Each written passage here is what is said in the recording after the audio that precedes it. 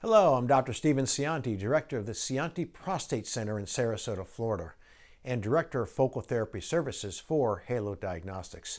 Today I want to talk to you about the HIFU procedure and why training and experience is so critically important to successful outcomes. You know, I got started with HIFU uh, almost 19 years ago when I really saw my first procedure. And over the years, I've had the opportunity to be involved with um, training uh, hundreds of physicians, initially offshore when we didn't have the ability to do this in the United States, but since 2015, uh, working uh, as a leader in the field to help other urologists get good outcomes with uh, this revolutionary technology. Now remember, HIFU is one of the workhorses we have today for focal therapy. It really is the most versatile tool I have for treating our prostate cancer patients in a precise and targeted way. Of course, we sometimes will use cryotherapy. TULSA-PRO is a great procedure for large prostates and tumors with anterior lesions. We now have a focal laser ablation program, but the workhorse really is HIFU, high intensity focused ultrasound. Now, there's several improvements, several modifications and advancements in technique that have occurred. And this is really where uh, we've been able to get better outcomes with less side effects. And so let's just take a minute and talk about the outcomes, then we'll talk about training. So outcomes require, you know, a, a good amount of energy, sufficient energy to the tumor.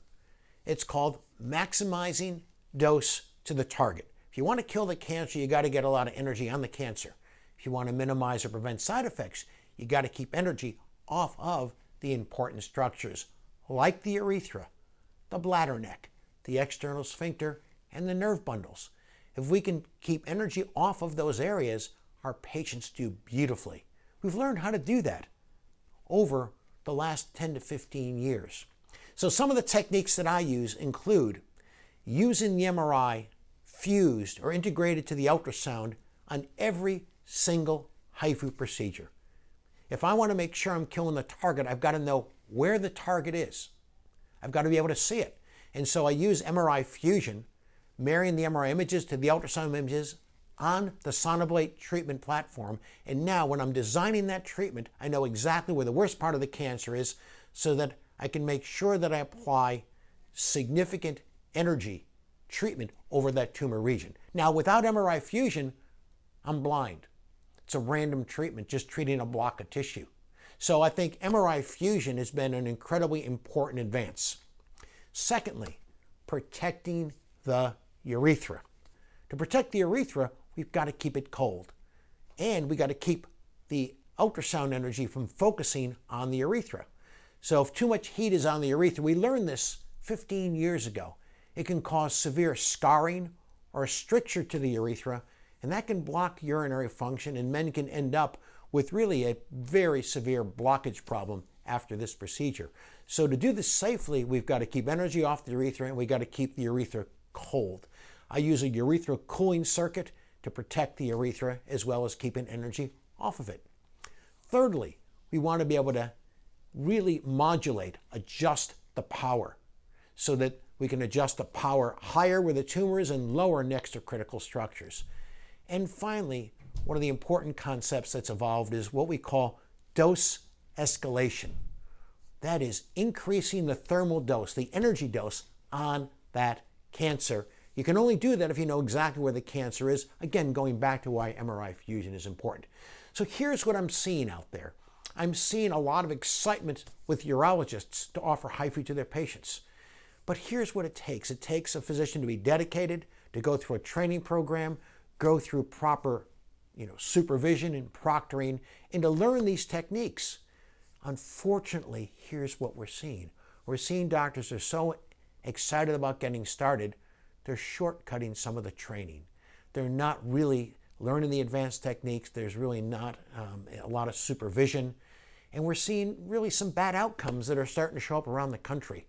So, what I would say if you're a patient and you're considering HIFU, experience matters. Really important. New physicians may be getting some of this experience, but here's the questions you need to ask. How many procedures have you done? Where did you get your training? Are you going to use MRI guidance to the procedure? Are you going to protect the urethra with a cooling circuit? Are you going to escalate the dose? Are you going to modulate the energies? If they can't answer those questions, please find another HIFU doctor, or really you should do something else. To get an excellent outcome, those things are critically important. So HIFU is a fantastic procedure. There's been tremendous improvements over the years, but take advantage of this procedure and all the improvements, what we've learned, you need to select an experienced physician. I've been doing this now for almost 19 years, several thousand procedures.